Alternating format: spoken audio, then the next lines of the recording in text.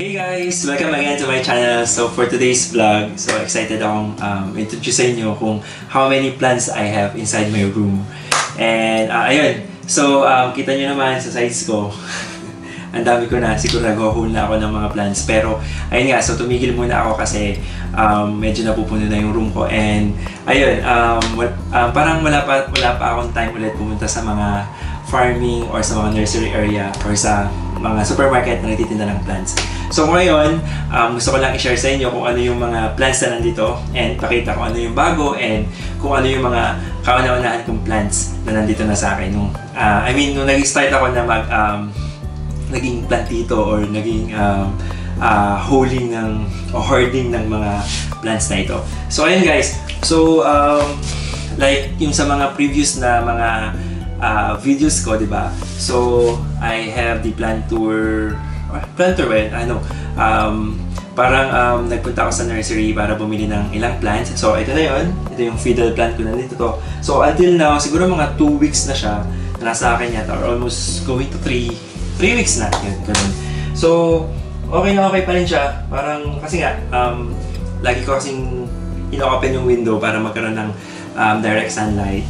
So, kahit hindi ko man siya mailabas from the corridor side or sa baba ng HDB namin o sa block namin, at least na aarawan pa rin siya or, nas, or nasisikatan pa rin siya ng araw. So, ito yun, ang fiddle plant ko. So, medyo malaki siya. So, um, hindi pa siya nagkakaroon ng, ng leaves ulit. Pero okay na okay naman siya kasi um, mas gusto niya yung, um, um, yung nasisikatan ng araw. So, kaya nilagay ko siya sa side na to.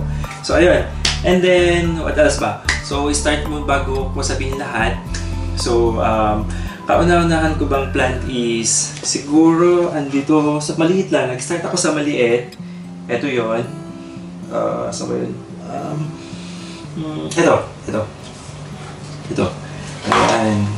Nag-start ako dito kasi bumi- bumili lang ako sa um, sa Cheers. Yung Cheers is parang 7-Eleven sa convenience store lang kasi nagtitinda rin sila ng mga plants. So bumili ako nito. It costs like about parang mga $1.80. So it's like approximately mga almost 40 pesos lang sa akin. So ito, bumili ako nito. Then until now, buhay na buhay pa rin siya. So low yung, uh, I mean, minsan kapag medyo parang nalalanta na yung dahon niya, dilalagay ko lang siya sa toilet or sa CR para magkaroon ng moist. Di ba kapag nililigo tayo, may parang may steam effect or may misting effect dun sa toilet, di ba?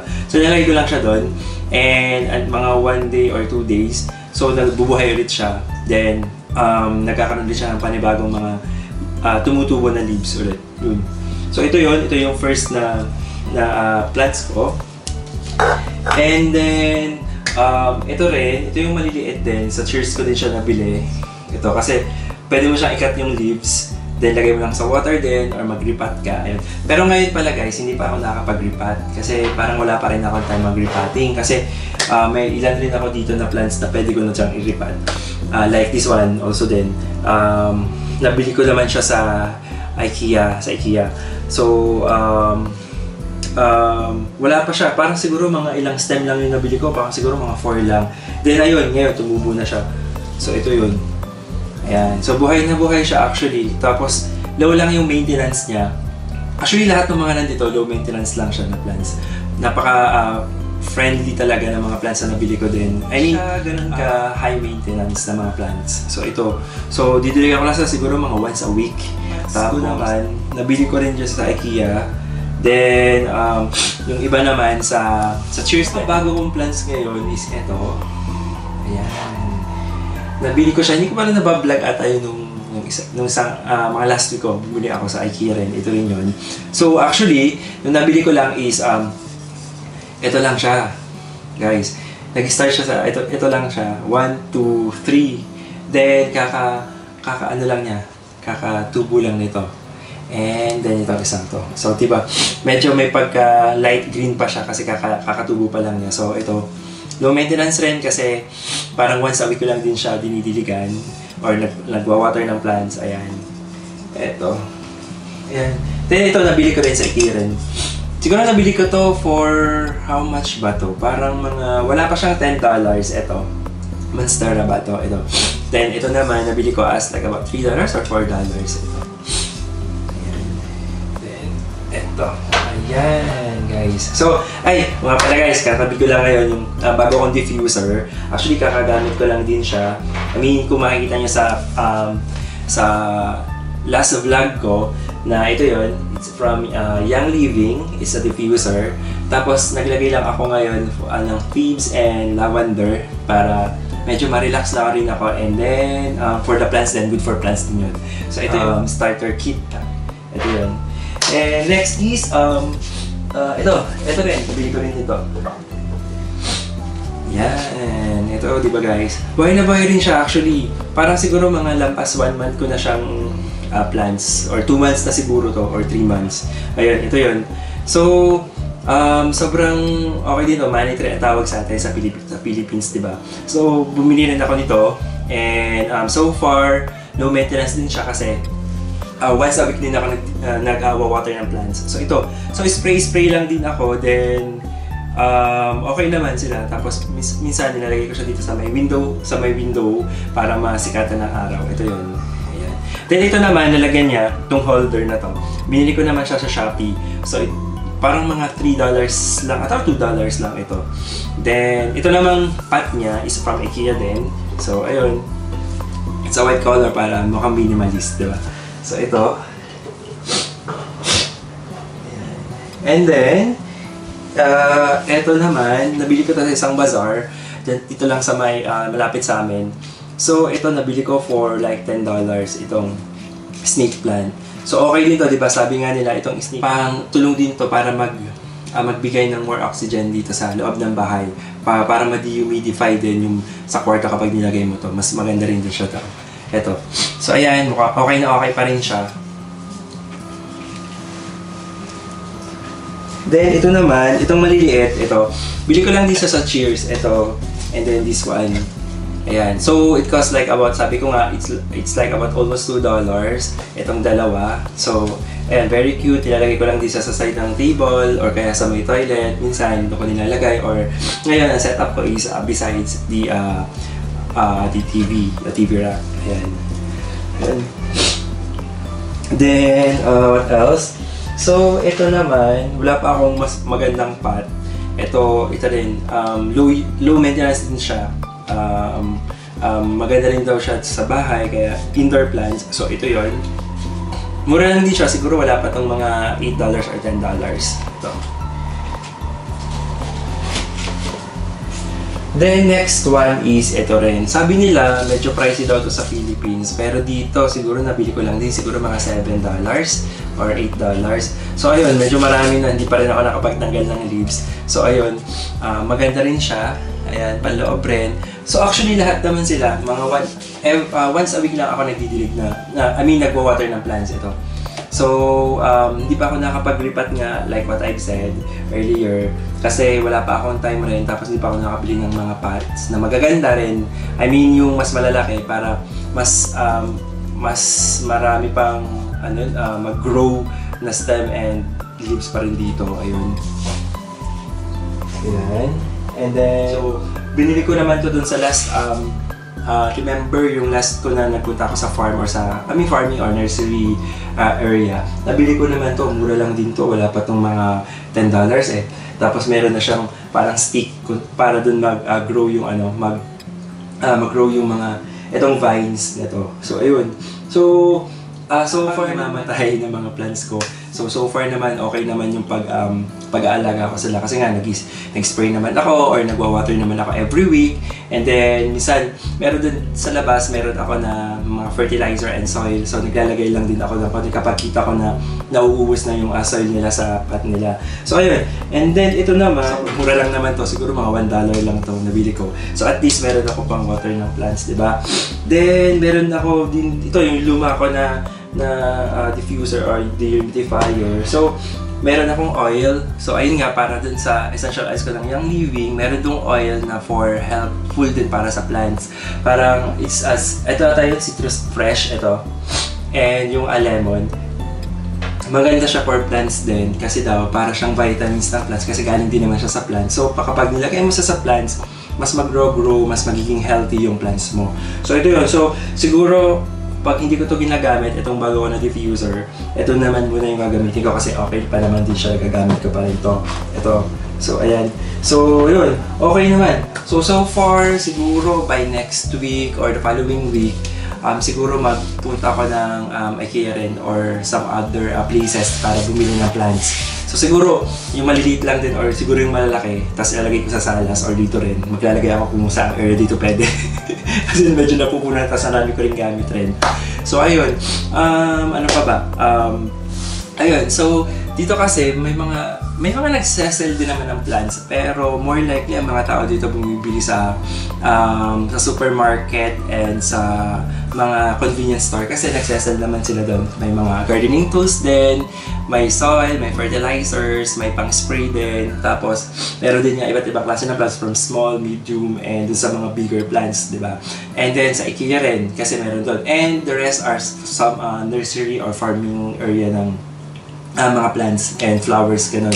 So ayun, siguro nahihilig rin yung mga tao dito na magkaroon ng mga indoor plants kasi nga, alam mo yun, kasi dito, wala naman sa Singapore naman, wala naman silang parang mga uh, garden or mga backyard kung, kung pwede sila na mag, uh, magtanim ng mga plants. Tapos, more on sa HDB naman, sa mga apartment type naman nakatira yung mga tao. So, so nas nahihilig sila sa mga ganito, sa mga indoor plants.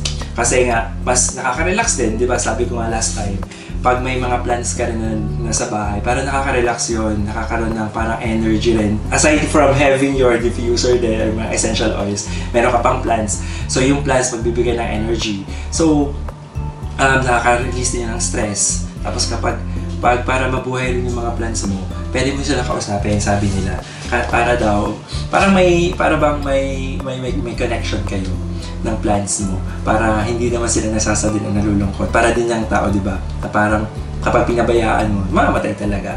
So, ayun. So, eh, time to time, kapag darating ako galing work or kapag pupunta ako ng work, mag, uh, uh, tatabihan ko sila tapos sasabihin ko, oh, sige guys, uh, alis na ako, ganito, ganyan. Tapos open ko na yung window. Once na may araw na, nasisikatan sila. So then, kapag babalik ako naman dito sa bahay, so at tatabihan ko ulit sila tapos hawakan ko yung mga lips nila tapos sabihin ko, oh yun, okay lang ba kayo, ganyan, be healthy, ganyan, ganyan. So yun ang mga sinasabi ko sa kanila. So ayun, so going back sa sinasabi ko nga na nakakatulong yung plants for your health din and for your feelings sa mga anxiety rin and if you're feeling down, ayun, makakatulong talaga itong plants din. Kasi nga, di ba, plants naman na nagbibigay din ng oxygen para sa atin. So vice versa, kailangan din ng carbon, uh, carbon dioxide para mabuhay rin.